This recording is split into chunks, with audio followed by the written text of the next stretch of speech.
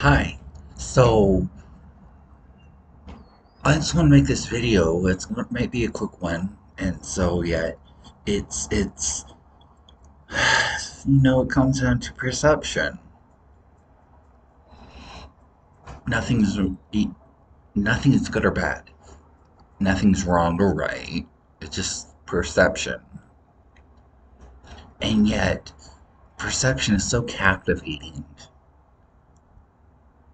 that it kind of helps form the meaning of life. It's not the meaning of life, yet it helps form the meaning of life, I would say.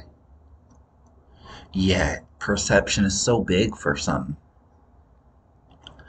that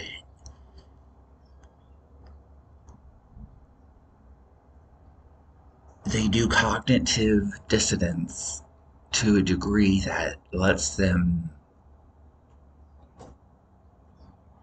in a sense, do the wrong thing.